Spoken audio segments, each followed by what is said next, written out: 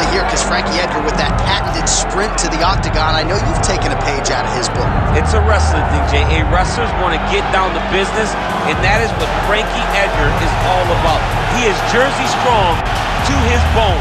Frankie is a guy that even when it looks like he's out of it, he continue to press forward and get the goal accomplished.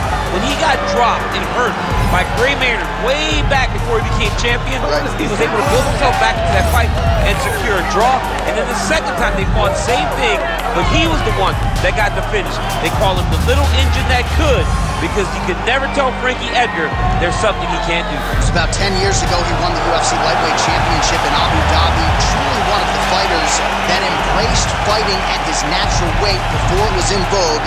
The answer, Frankie Edgar, back in yet another big UFC spot here tonight.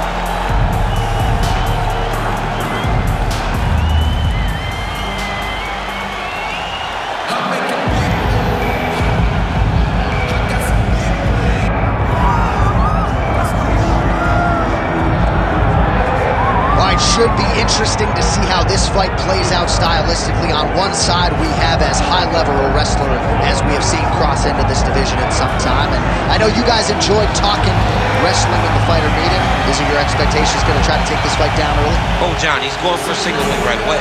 It's his best takedown. He wants to take you down and he wants to wear you out. He wants to go from position A to position B. Position A, take him down. Position B, on the ground, move to C get to the mount. Try to find a way to dominate. And in between, suffocate. Make him work at every single turn. This guy's tremendous. He is the embodiment of the fight style that so many of us use. Well, as you know, every MMA round begins on the feet, but prevailing wisdom is this one could hit the canvas and sooner rather than later.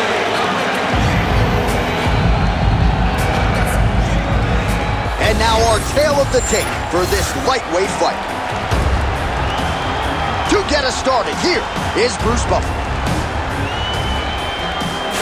Ladies and gentlemen, this is the main event of the evening.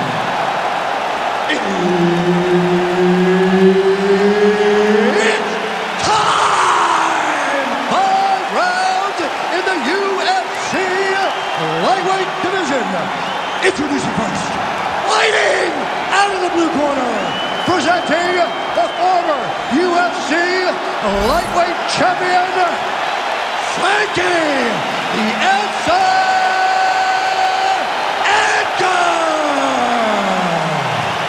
And now introducing his opponent, fighting out of the red corner, Alexander the Great Ape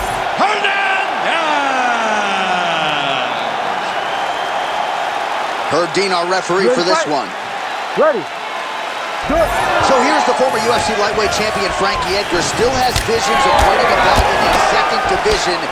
That makes tonight a must-win scenario for him here at 145 pounds. Frankie Edgar has been in there with the best in the game, and as usual, sharing the octagon with a fellow elite here tonight.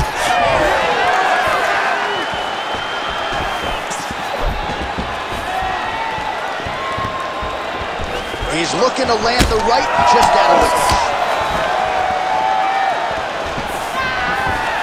wisdom coming in was that he'd want to get this fight to the ground. That'll help. Early takedown is good. Oh, he's got his back.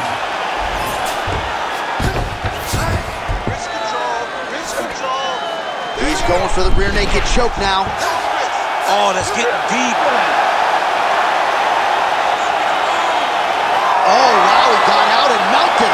What a beautiful display of submission defense. Not panicking whenever he was beat so greatly by that rear naked choke. We may get a finish here, rear naked choke, locked in.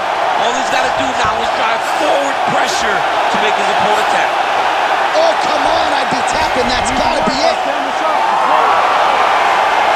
Oh, he got out. He took two hands to the elbow and shoved it over the top of his head to free himself from that rear naked choke. Oh, that rear naked choke looks tight.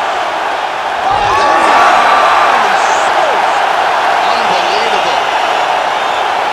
So what a win for him here tonight. He gets it done and gets it done by way of submission. He told us this week, I got to keep these judges out of it. Mission accomplished. Absolutely. He is a phenomenal grappler. He said that he held the advantage there and that would show itself in the fight. He proved that, and he gets a submission victory. Amazing. All right, let's take a look back at the replay as he gets it done by submission tonight, champ. I mean, you know, this guy has such a great submission game that you cannot lay in his guard. He's so skilled, he's so tricky, and he's so good at weaving a web that gets you lost in it that he made him pay for it tonight and got the submission victory. Bruce Buffer is here. He has the official decision. Ladies and gentlemen, referee Herb Dean has called a stop to this contest at 2 minutes, 26 seconds of the very first round. For the winner by submission, Alexander the Great Ape Hernandez! All right, so there he is, all smiles and rightfully so after he gets the job done by submission tonight. You told me off the air before the fight that he was going to submit him, and that's exactly what happened, man. I mean, you know, this guy has such a great submission game that you cannot lay in his guard. And his opponent is known to lay in the guard. He made him pay for it tonight, got the submission victory.